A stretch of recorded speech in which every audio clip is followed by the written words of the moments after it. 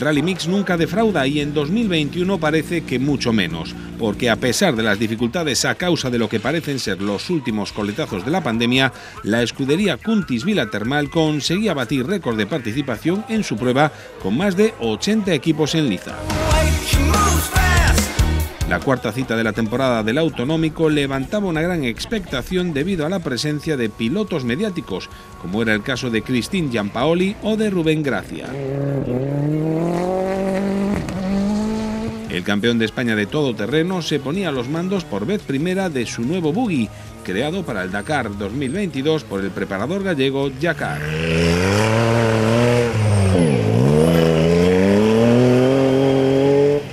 sois, sois otro mundo. Eso es impresionante, el tramo y la afición, un montón de coches.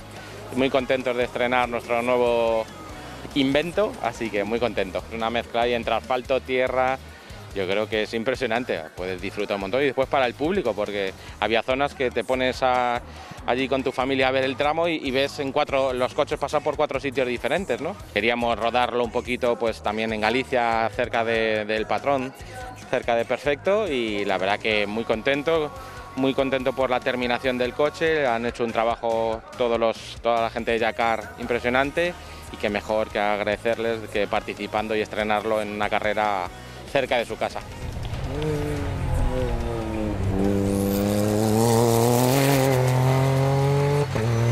La piloto e influencer Christine Giampaoli y su copiloto, la sueca Ida Lidevier, eh, ponían el toque más internacional. Aunque terminaban abandonando cuando rodaban terceras de turismo, se hacían las delicias de los aficionados a los mandos del Fiesta R5 de Yakar.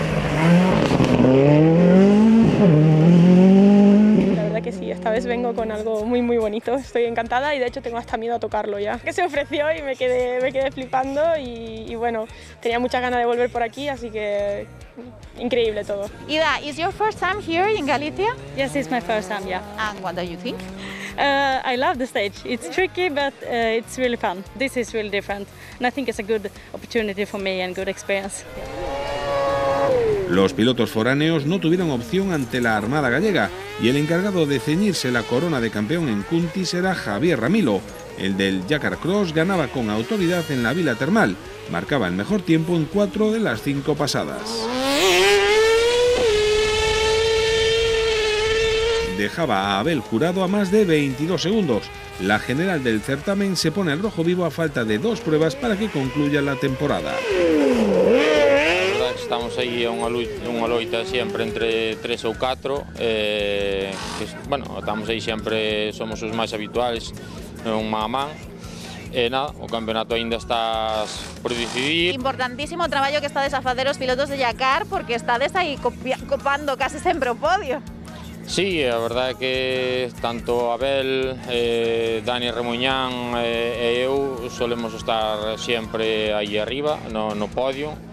Eh, bueno, a verdad que os coches traballamos moito neles e, bueno, funcionan bastante ben. Alexis é un, é un chaval que, bueno, xe ven da montaña, é rápido, e, bueno, o que é rápido adaptase ben a calquer, a calquer terreno. Siempre que seamos gente de Hay amigos de otras marcas, pero bueno, siempre que sea la misma marca, pues mejor. Es buena rivalidad, Ramilo tiene un ritmo increíble. Nosotros que venimos de fuera, entrenar un tramo tan largo es muy complicado. Un poco ventaja que se hicieron el recorrido por ediciones pasadas, pero bueno, cuesta, cuesta memorizar. Eh, claro, entrenar son las tres pasadas que te dejan y no hay más, pero bueno, a ver, es la única desventaja que tenemos un poco, pero bueno, hay que correr con cabeza porque es muy largo. Hay zonas donde hay que sacrificar y bueno.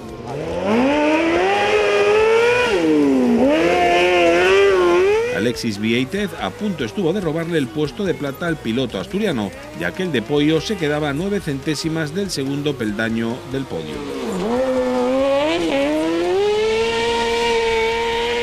Disciplina muy divertida en la que, entre comillas, gastamos poco comparado a lo que estamos habituados y pues la verdad disfrutamos muchísimo, ya aunque vayamos más despacio en muchas zonas y tal, pero es una disciplina muy súper divertida. Bueno, de despacio nada, porque tu progresión está siendo muy buena, ¿eh? Ya ganando carreras, ya echándole carreras a los top, por así decirlo, y tenéis el campeonato ahí un puño. El Rally Mix es un poco una incógnita el quién va a ganar, dado que pueden pasar miles de cosas al contar todas las mangas.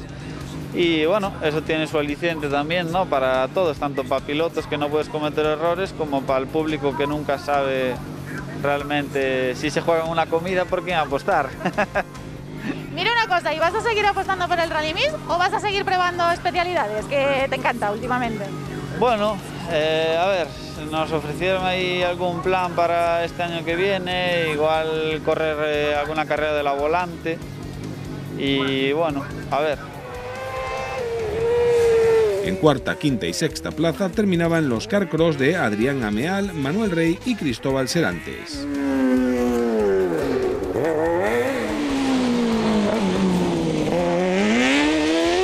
Séptimo era Arcaiz Fernández, al que seguían Juan Enrique González y Daniel Remuñán.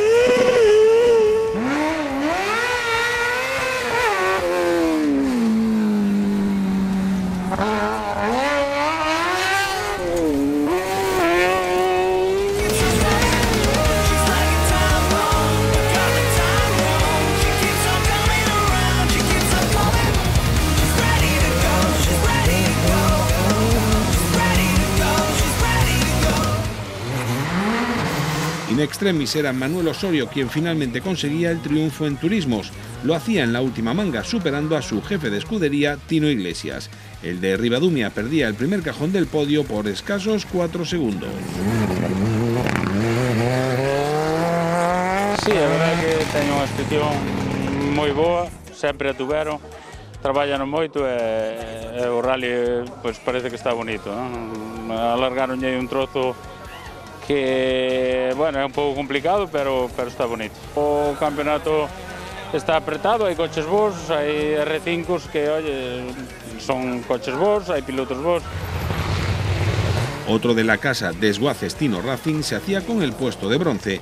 Jaime Pérez, con su 207, conseguía sellar el triplete para la escudería de Ribadumia. Quedaba por delante de otra de las monturas más atractivas de la carrera, el Ferrari SCC de Darío Calviño. Pues la verdad que la primera de todas, porque solo lo cogí para subirlo al tráiler o al remolque, que es una prueba que tanto de organización como de tramo como de todos chapó. Y bueno, pues yo creo que hasta ahora debe ser el mejor que, que vi. Bueno, y hablando de los carcross, de los ya carcross, ¿qué has probado? Tú te has estrenado con el FIA. ¿Qué tal? ¿Cómo ha ido? Muy bien, ¿no? Sí, bueno, eh, realmente ganar, ganar no ganamos, porque iban ahí peleando los dos primeros y bueno, tuvieron un toque, se engancharon, y, pero bueno, estar hay que estar ahí siempre a la caída y si caen, pues hay que estar. ¿Y qué tal la nueva montura? ¿Qué diferencias has encontrado con respecto a los otros?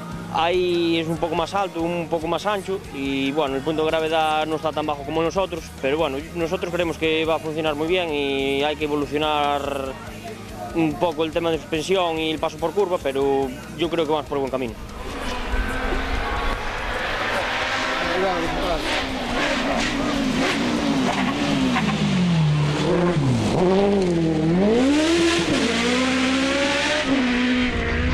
There's a time to consider